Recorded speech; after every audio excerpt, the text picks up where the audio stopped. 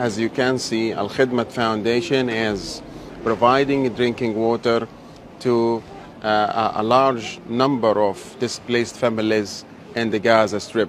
That most of the displaced families in the Gaza Strip suffer from acute shortage of drinking water.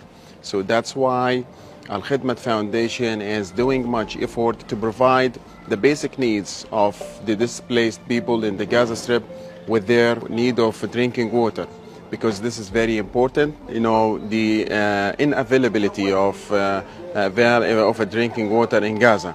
We hope that inshallah continue uh, doing the, our best to provide as many as possible, to provide our support to as many as possible of the displaced families in Gaza. Thank you so much for your support and donation to the population of the Gaza Strip.